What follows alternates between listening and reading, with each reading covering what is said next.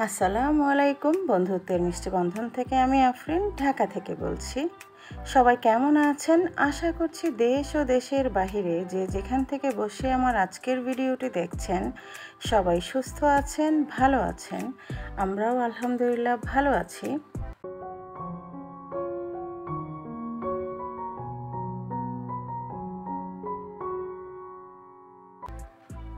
প্রতিদিনের মতো আরেকটি ভিডিও নিয়ে হাজির হয়ে গেলাম। আজকের ভিডিওটা একটু অন্যরকমভাবে সাজিয়েছি। আজকে কিছু গল্প করব আপনাদের সাথে। প্রতিদিন মানুষেরই কিন্তু জীবনে কিছু না কিছু ঘটে যায় বা ভালো লাগা, খারাপ লাগার কিছু মুহূর্ত থাকে।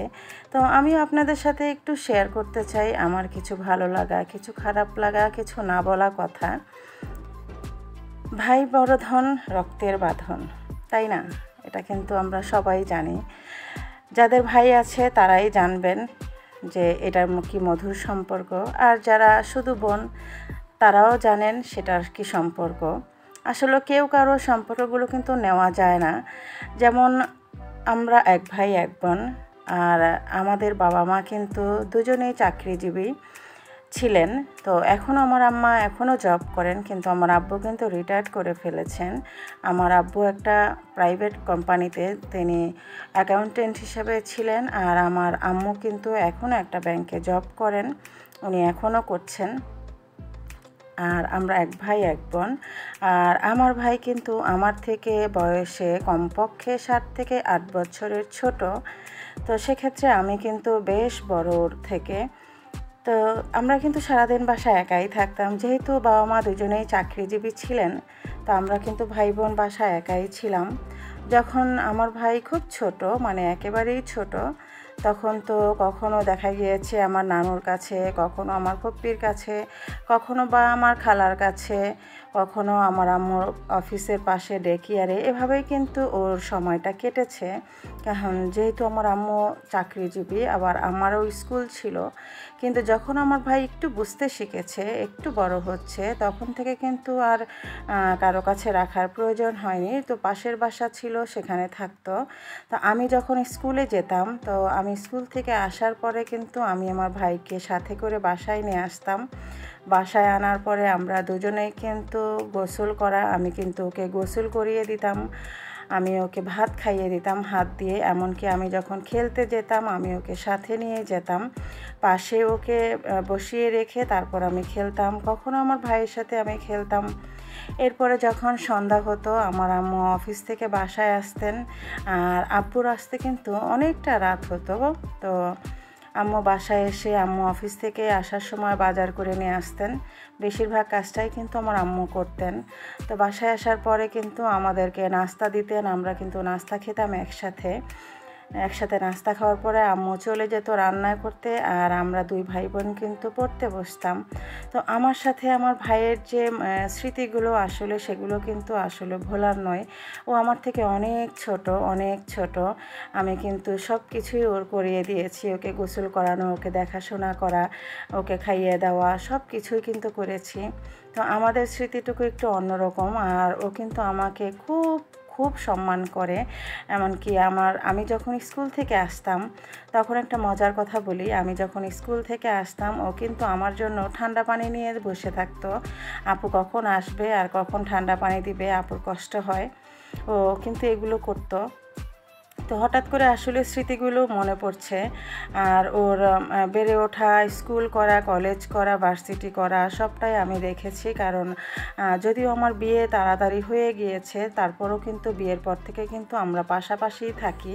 তো সব কিছুই আমাদের, আমার হাতেই ধরতে গেলে। আমি কোথাও যদি বেড়াতে যেতাম বিয়ের পরে, আমি কিন্তু আমার ভাইকে সাথে করেই নিয়ে যেতাম। ওকে ছাড়া কিন্তু আমরা কোথাও যেতাম না। কারণ আসলে ভালো লাগতো না। ও ছাড়া তো আমাদের সেরকম এরকম কেউ ছিল না। আর আমাদের থেকে অনেক ছোট ছিল, খুবই কিউট ছিল মার্শাল্লাহ তাই জন্য আমি যেখানেই যেতাম, ওকে ঘুরতে নিয়ে যেতাম। কারণ ও বন্ধুবান্ধব কারোর সাথেই কোনো আড্ডায় যেত না, বাসাতেই থাকতো সব সময় তো সেজন্য আমি যখন কোথাও যেতাম, ওকে আমার সাথে করেই কিন্তু আমি নিয়ে যেতাম। আমার কাছে খুব ভালো লাগতো। মনে হতো যে, ভাই সাথে থাকলে আমার অনেকটা ভালো লাগে, সাহস লাগে। আর এমনিতেও কিন্তু কথায় আছে যে ভাইয়েদের নাকি হাড্ডির উপরও নাকি বোনদের নাকি হক থাকে। হ্যাঁ জানি না কথাটা কতটুকু সত্যি বা মিথ্যা বা কোথায় আছে, কিন্তু যদি এরকম হয়, তো আসলে হয়তো বা সত্যি বলেই, কারণ ভাইদের অনেক দায়িত্ব, কর্তব্য বোনদেরকে বোনের প্রতি।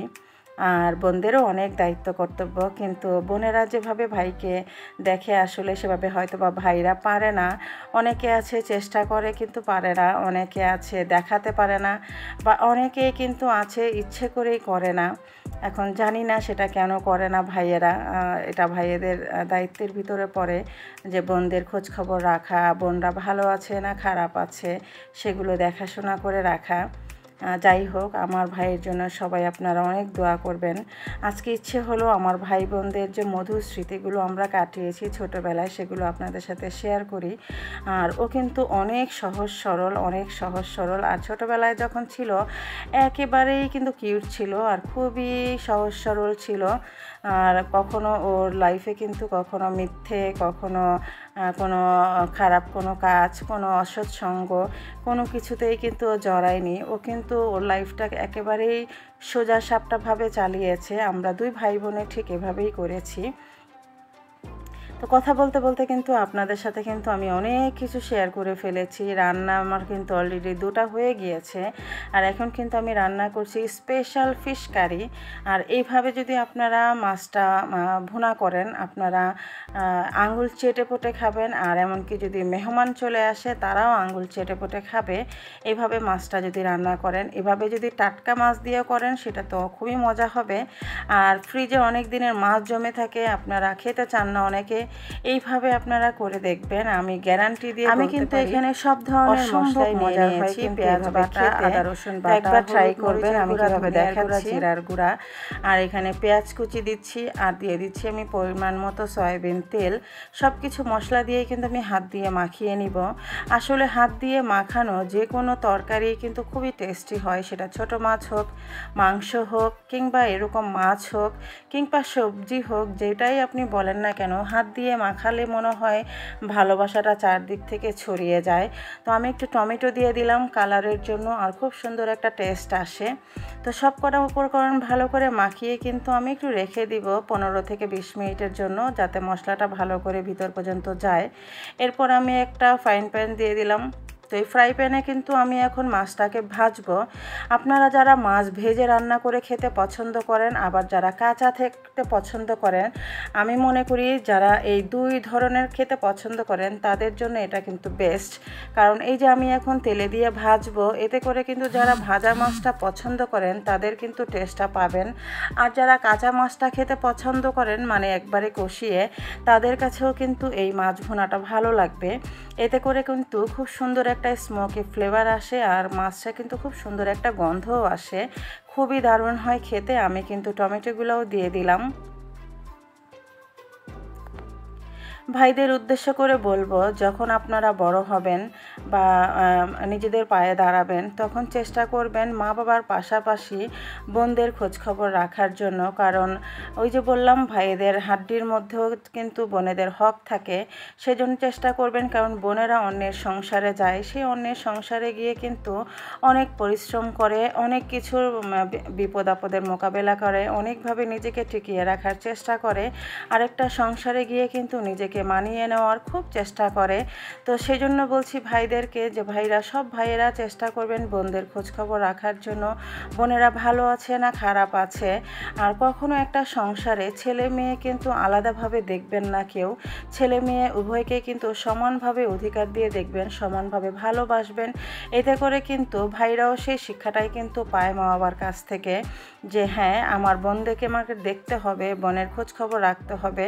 বিয়ে হয়েছে তাতে কি হয়েছে। আমার তো বোন বোন তো আর চলে যায়নি তাই না? তো সেজন্য সব ভাইদের উদ্দেশ্যে বলব, সবসময় আপনারা বোনদের খোঁজখবর রাখবেন। বিশেষ করে আপনাদের যখন বিয়ে হয়ে যাবে, তখন যে আপনারা মনে করবেন বিয়ে হয়ে গিয়েছে, আমারও তো সংসার আছে, এই কাজটা কখনো করবেন না। কারণ আপনার সংসার আপনারই থাকবে, আপনার বোনের সংসার আপনার বোনের সংসারই থাকবে। কিন্তু একটু খোঁজখবরের মাধ্যমে যদি আপনাদের টান ভালোবাসাগুলো বেড়ে যায় বা এটা অটুট থাকে, তাহলে ক্ষতি কি? তাই না? কারণ এটা তো রক্তের সম্পর্ক, তাই না? রক্তের সম্পর্ক, আত্মার সম্পর্ক, বন্ধুত্বের সম্পর্ক সবটাই কিন্তু রয়েছে। আর একটা বোন কিন্তু মায়ের মতো, এই জিনিসটা সবসময় মনে রাখবেন। আর আর কি বলব, আমি সবসময় চাই আপনার ভাই, বোন যারা যেখানে আছেন, সবাই মিলেমিশে থাকবেন। কখনো বিয়ের পরে যে আলাদা হয়ে যাবেন বা অন্যরকম হয়ে যাবেন বা ভাববেন যে, না, বউ চলে আসছে, সংসার বড় হয়ে গিয়েছে, এখন আর খোঁজ নেওয়া যাবে না।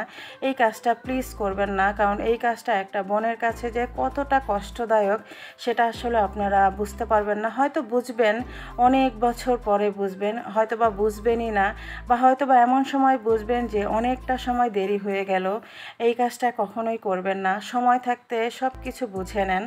তো দেখতে পাচ্ছেন, প্রচুর বৃষ্টি হচ্ছে, যেহেতু আষাঢ় মাস পড়ে গিয়েছে, বৃষ্টি তো হবেই। তো খুব ভালো লাগছে বৃষ্টিতে। কাদের কাদের ওখানে বৃষ্টি হচ্ছে জানাতে পারেন। তো আশা করছি আজকের ব্লগটি আপনাদের ভালো লেগেছে। যদি ভালো লেগে থাকে তো প্লিজ একটা লাইক দিয়ে দিবেন। আপনাদের একটা লাইক কিন্তু অসংখ্য ভাই আপুর কাছে আমার এই ভিডিওটা পৌঁছে যাবে।